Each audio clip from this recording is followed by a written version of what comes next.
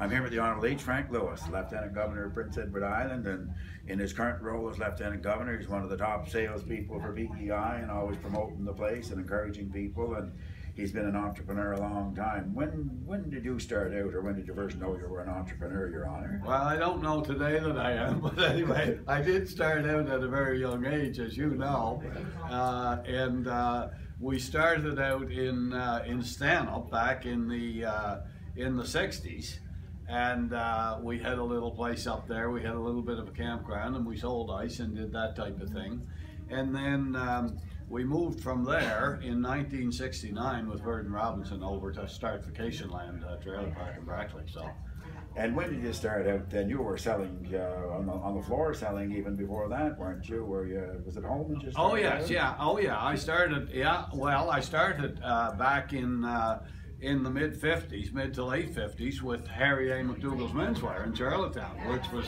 a great experience because uh, he was uh, he was very very strict on your dress and like it wouldn't matter if it was 100 degrees, you had to have your tied tucked up and so it was a great it was a great lesson for a young fellow coming from the third district of Queens Yeah. and uh, so uh, that uh, and then after that I uh, I went to Holman's and spent some time there at which time in uh, mid 1966 August actually I went to CFCY in in the, in sales selling radio and and uh, my career there lasted until uh, 2000 and uh, uh, 2004 Four decades. yeah yeah Yes, sir. 40 44 years yeah I saw a lot of growth in that time too. absolutely yes yeah And what do, would you say, looking back on that, is the kind of the essence or the, the ingredient that defines an entrepreneur?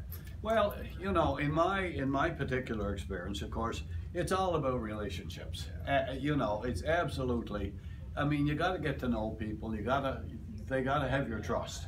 And uh, and I was always, I thought, reasonably good at that. I was never very shy about talking, and uh, you you just had to build up a relationship with the people. And you know, I can remember back in the day, and you know, uh, the individual Orville Turner who had the business out in uh, Winsloe.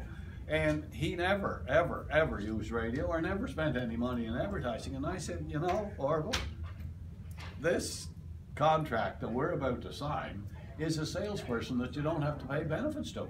You know, you can do the work. You just got to get people, hang out your shingle and let people know you're there. So, no, it, it was a great, it was a great run for me, and uh, I enjoyed every minute of it. And of course, I enjoy very much what I'm doing today. Which is know. a continuation Yeah, of oh, relationships and yes. Like as I told you on the way in, I was up to Summerside last night for the uh, city awards there, and what a wonderful event it was. I mean, they highlighted a dozen people who are very active in the community and doing volunteer work, and you know, so it, it's it's all good, really. Well, Your Honor, we appreciate the work that you're still doing on behalf of all the people of the province, and uh, and we know it's uh, something you've been at for a, a long time. This would be good for people to get the example and uh, to know what it is to be an entrepreneur. Thank My you. pleasure to do it. That's great. Yeah. Have a great day. Okay.